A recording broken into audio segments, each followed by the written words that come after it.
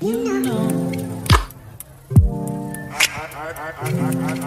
Guys आप सभी का स्वागत है मेरे चैनल पे। मैं हूँ विजय आप देख रहे हैं जेडी ब्लॉग्स आज आ, मैंने दो नए फ़िश लेके आए गाइस तो ये सेटअप में डालने वाला हूँ।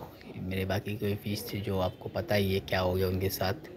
और ये तीनों भी अभी भी बरकरार है गाइस मेरे पास। जो ब्लू वाला मेल है वो गाइस बहुत पुराना है मेरे पास।